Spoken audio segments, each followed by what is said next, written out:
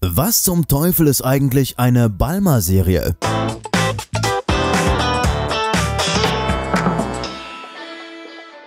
Heute wird mal nicht dufte diskutiert, sondern heute gibt es mal Fakten für die Quantenphysik. Heute gehen wir nämlich in die Kernphysik. Wir schauen uns mal ein Atom etwas genauer an. Das Wasserstoffatom zum Beispiel. Das besteht aus einem Atomkern mit einem Proton und einem Neutron. Und außenrum flitzt ein Elektron. Schauen wir uns Helium an. Das sind nun schon zwei Protonen, zwei Neutronen und zwei Elektronen. Beide Elektronen flitzen auf der gleichen Bahn um den Kern. Jetzt kommt Kohlenstoff. Es ist das sechste Element des Periodensystems. Es besitzt somit sechs Protonen, sechs Neutronen und sechs Elektronen. Die Elektronen flitzen hier allerdings schon auf unterschiedlichen Bahnen. Zwei Elektronen flitzen auf der inneren Bahn, vier auf einer neuen äußeren. Kommen wir zu Natrium, das elfte Element des Periodensystems.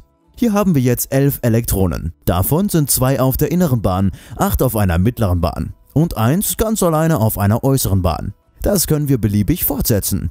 Dabei gilt immer, die innere Bahn nimmt immer zwei Elektronen auf, die weiteren dann jeweils acht. Das sollte euch auch schon aus dem Schalenmodell der Chemie bekannt sein, denn das hängt damit ganz stark zusammen. Nur, dass wir hier jetzt den Schalen keinen Namen geben, sondern den Bahnen Nummern. Die innerste Bahn bekommt die 1, dann kommt die 2 und so weiter.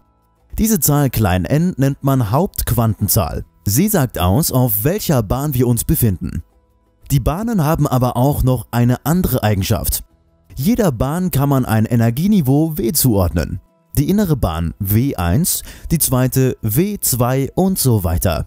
Jedes Elektron, das auf einer Bahn unterwegs ist, hat genau dieses Bahnenergieniveau. Ein Elektron auf der zweiten Bahn besitzt die Energie W2 und eins auf der vierten Bahn würde die Energie W4 besitzen. Zeichnen wir die Energien der verschiedenen Hauptquantenzahlen als Bahnen in ein Diagramm, dann sieht das so aus. Je höher die Quantenzahl wird, desto größer wird unsere Energie. Damit ist eines klar.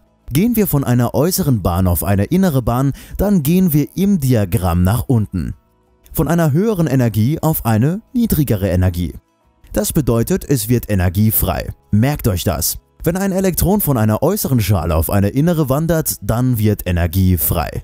Das bringt uns ganz nah an die Balmer-Serie. Schweren nämlich Elektronen auf einer Bahn und es gibt einen freien Platz auf einer Bahn weiter innen, dann versuchen sie immer dorthin zu kommen. Sie wollen in einen Zustand mit möglichst wenig Energie. Sie wollen relaxen. Und genau das machen sie. Ist ein Platz auf einer inneren Bahn frei, dann relaxieren sie dorthin. Das nennt man echt Relaxation. Dabei verlieren sie Energie. Diese Energie wird in Form eines Photons abgestoßen. Das Elektron wandert also auf die andere Bahn und ein Photon wird abgegeben. Und jetzt sind wir endlich bei der Balmer-Serie. Die Balmer-Serie beschreibt nämlich alle Photonen, die entstehen, wenn ein Elektron von einem höheren Zustand in den zweiten Zustand fällt. Alle Photonen werden beschrieben, die abgegeben werden, wenn ein Elektron von der dritten, vierten oder fünften Bahn auf die zweite runterfällt. Die Balmer-Serie ist dabei genau auf das Wasserstoffatom definiert. Die Balmer-Formel rechnet jetzt aus, welche Wellenlänge ein beim Sprung emittiertes Photon besitzt. Das Photon, das rauskommt, besitzt nämlich dann eine bestimmte Wellenlänge. Die Formel sieht so aus. 1 durch Lambda gleich r mal 1 durch 2 hoch 2 minus 1 durch n hoch 2. Das Lambda ist dann also gerade die Wellenlänge, die das entsprechende Photon hat, das emittiert wird. N ist die Hauptquantenzahl des Zustandes, aus dem in den zweiten Zustand gesprungen wird. Und Groß R ist die Rydberg-Konstante mit 1,097 mal 10 hoch 7 1 durch Meter. Ein harter Brocken für so eine Formel, aber dafür versteht ihr nun optimal, was hinter der Balmer-Serie steckt. Fassen wir das Ganze nochmal kurz zusammen. Um den Atomkern schwirren die Elektronen auf Bahnen. Die Bahnen sind durch die Hauptquantenzahl n charakterisiert und jede Bahn besitzt ein eigenes Energieniveau. Je weiter innen, desto kleiner wird die Energie.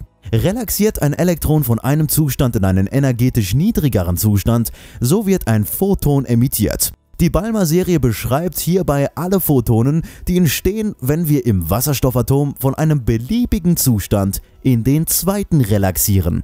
Die Wellenlänge der emittierten Photonen lässt sich durch die Balmer-Formel berechnen. Damit haben wir einen riesen Schritt in der Kernphysik gemacht. Ihr könnt ohne Scheiß stolz auf euch sein.